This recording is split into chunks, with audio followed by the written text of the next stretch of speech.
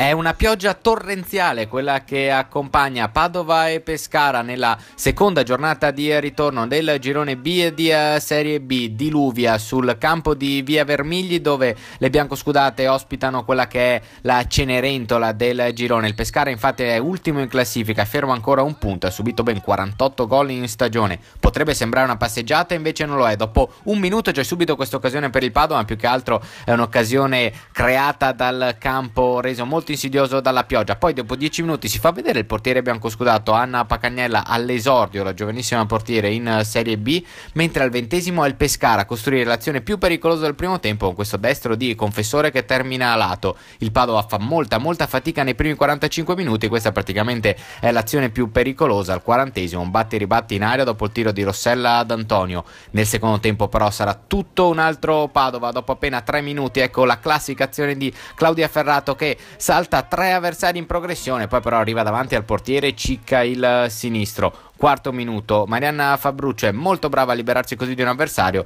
il suo destro però poi è troppo lento, il portiere lo devia in calcio d'angolo. Sul calcio d'angolo successivo, guardate Aurora Favero che riesce a recuperare così il pallone, lo mette in mezzo e Marta Michelon riesce a sbloccare il risultato. Sono bastati praticamente 6 minuti di assedio al Padova nel secondo tempo per trovare il vantaggio e anche scacciare l'incubo che stava diventando questa partita. Il Padova poi ha il merito di non mollare, di cercare subito di chiudere chiudere la gara e colleziona quindi tante occasioni. Arianna Catuzzo all'ottavo con il destro, sfiora soltanto il palo, poi calcio d'angolo. Questo è uno schema già visto in stagione per il sinistro di uh, Alessia Mazzuccato che però termina fuori.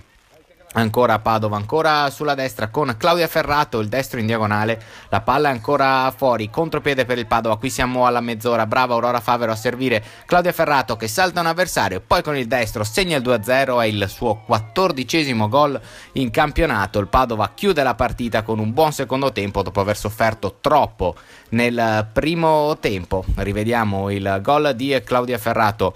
È 2-0 per il Padova, Padova che non si accontenta, cerca anche il tris, la neoentrata Ilaria Lancellotti ci prova con il destro ma non inquadra la porta, va comunque bene così, finisce 2-0 tra Padova e Pescara, le biancoscudate vincono, restano al terzo posto in classifica in attesa di quello che sarà lo scontro diretto del, di domenica prossima quando il Padova farà vita alla capolista Sassuolo, ma a fine partita c'è spazio soprattutto per tanta commozione, le biancoscudate infatti salutano così la compagna Claudia Saggiona, la sua ultima gara casalinga prima degli, di trasferirsi negli Stati Uniti, You'll Never Be Alone, non sarai mai sola, questa la dedica per Claudia Saggion.